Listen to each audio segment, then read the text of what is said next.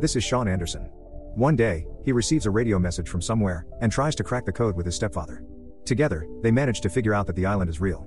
They also figure out the coordinates using the message and immediately leave for Pacific Ocean to discover the mysterious island. They hire a tourist helicopter and move towards the location, but witness the biggest group of tornadoes anyone has ever seen. Their helicopter gets engulfed by the tornado and they wake up on a barren island. Sean finds a cave and tells everyone to come with him.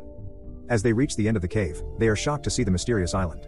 On this island, large animals are small, and small animals are large. Sean meets his grandfather there who is stuck here for more than two years. He is the one who sent the radio message to Sean. Now, Sean's grandfather shows everyone the lost city of Atlantis, which is a part of this mysterious island. There, they discover that this island will sink completely in next two days, so they need to figure out a way to escape. Sean suggests that they can use Captain Nemo's submarine, Nautilus, to escape safely from below the tornadoes.